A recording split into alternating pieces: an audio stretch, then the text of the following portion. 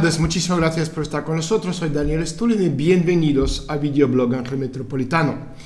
Todas las semanas me llegan muchas preguntas de los seguidores. Normalmente puedo contestar algunas de ellas de forma muy breve, pero una pregunta recién me llamó mucho la atención y ah, me gustaría aclararlo en el videoblog de hoy. La pregunta era de qué manera Londres es hoy el descendiente directo de Venecia y ellos de Cartago.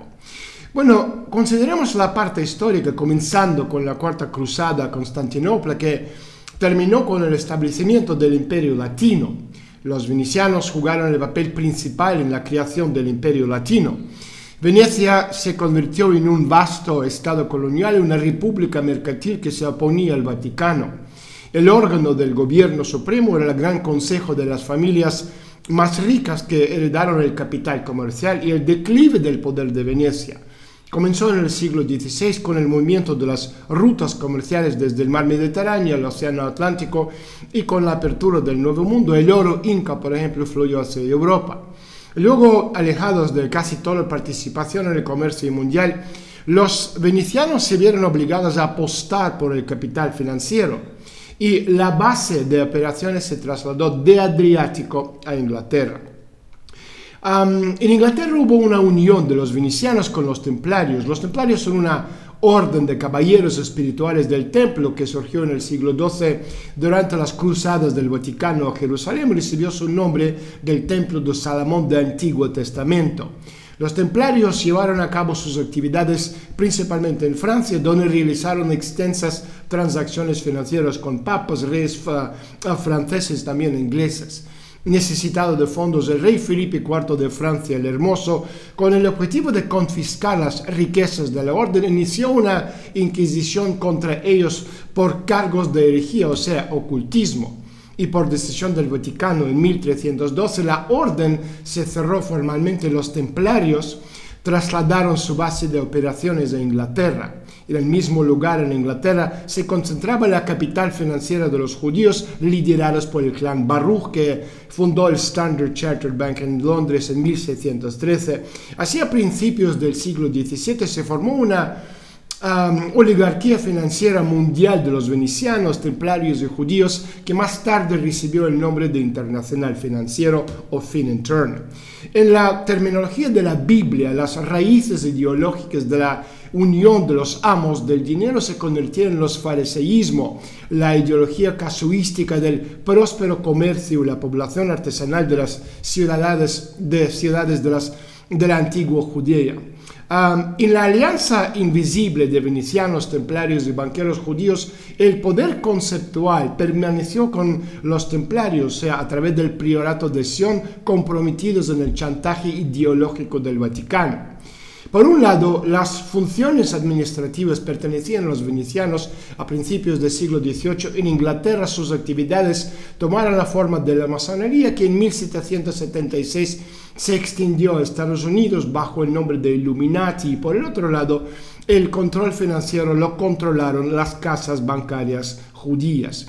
Es decir, si hablamos de raíces conceptuales en los fundamentos del comportamiento social, entonces Turn alimenta el fariseísmo, el Vaticano alimenta el y las estructuras de red de los cátaros modernos, netocracia, son la esenios y la cábala.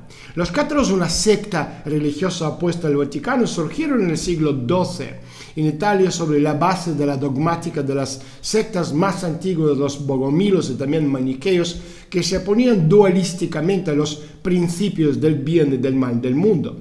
O sea, el dualismo de los cátaros como los maniqueos se basó en reconocimiento de la existencia de dos dioses, el dios manifestado de este mundo, o sea, fenómenos observados, y el Dios no manifestado de otro mundo. Y según el cuerpo mortal, una persona obedece al primero y según la grandeza del espíritu, pertenece al segundo.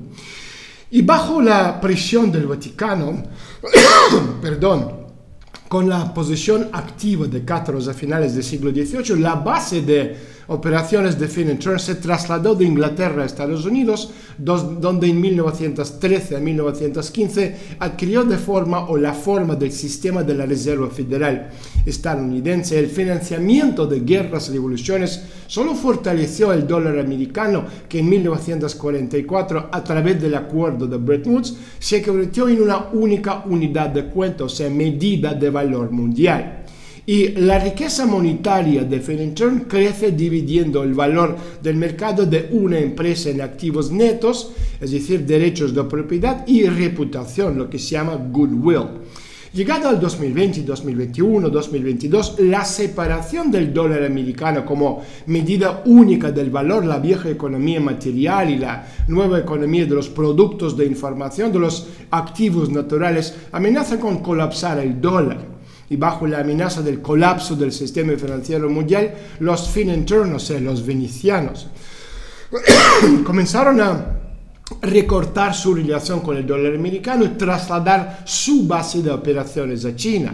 Esto se hace de acuerdo con el mismo esquema que se utilizó para partir hacia Inglaterra hace 400 años del Adriático, de la Venecia, después hacia los Estados Unidos hace 200 años. Y este despliegue se encuentra ahora en China continental de las redes bancarias Standard Chartered de la familia judía Baruch y Hong Kong Shanghai Banking Corporation o HSBC, que es el banco de los Rothschild y también del banco de inversión Goldman Sachs. La alineación de las fuerzas políticas estadounidenses en la triple imagen de las raíces conceptuales de la civilización bíblica del Occidente ahora se ve así. Fin en turn, fariseos, hipócritas, neoconservadores, que son fundamentalistas judíos y cristianos, y reformadores liberales, cábala y cátaros.